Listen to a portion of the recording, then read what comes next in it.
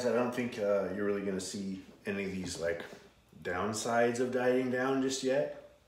Um, maybe towards the ends of these two weeks you may, um, but you know, proceeding from there, you probably will, and it's completely normal. So you know, prepare yourself. Um, I like to prepare people psychologically for what's coming. It's nothing like dreadful. It's nothing crazy like, oh my God, my life sucks. I'm not eating at all. Nothing like that you'll probably just see some dips in like energy, maybe like not wanting to work out so much. Maybe your workouts aren't that great. It's taking you a while to recover. The weights might feel a little heavier, that kind of stuff. All little things, right?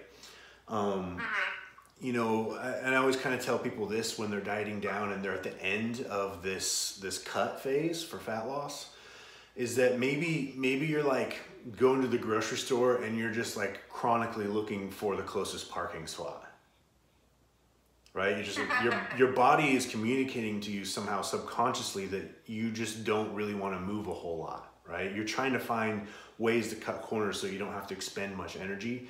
And that that's a good that's a good one that a lot of people notice and I myself when I'm just like all right, last two weeks of this like cut, I'm getting kind of miserable. It kind of sucks. I can do it, you know, I'm functional. I'm not like, you know, borderline going to the hospital or anything crazy.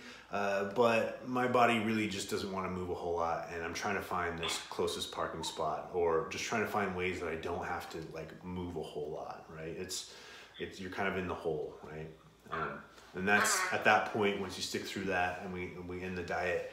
Um, that's when we start to reverse you back to maintenance, right? And your maintenance reverse is going to be probably a few steps, and then we'll be at maintenance for about for about half to two thirds of the time of the duration of the cut itself. So if we diet you down for 10 to 12 weeks, uh, we'll reverse you back to maintenance where you'll stay for about probably five to six weeks before we do anything else, okay?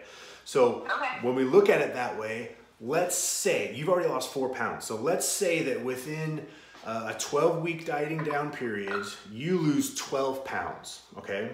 And then we reverse you back to maintenance and you gain four catastrophe. I'm gaining all my weight back. The end of the world. This sucks, right? No, you've gotten back to maintenance and your net loss within a dieting phase was eight pounds, right? And you're now maintaining that eight pounds lighter than you would have been through the development and education of nutritional habits, right? Right.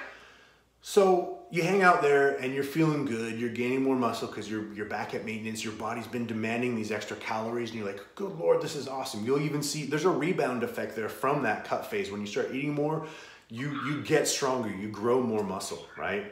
And now you're doing this with a little bit less fat on your body than you had previously. So let's say we go through that maintenance phase of say six weeks, and then we start to cut down a little bit. This time you're frustrated, you've only lost eight pounds, right? Well, your maintenance was lower this time though, right? You went into a diet being a lighter body weight. So it's, it's not really the number of pounds, it's kind of more percentage of your body weight that you've lost that matters, okay? So let's not get fixated on, I lost 12 pounds last time, I only lost eight this time, right? It doesn't matter. It's uh, your, the percentage of weight that you lost compared to your body weight is what matters, okay? So you lose eight pounds this time, and then you reverse back, and then you, you gain three. Well, cool your net loss was five pounds, right?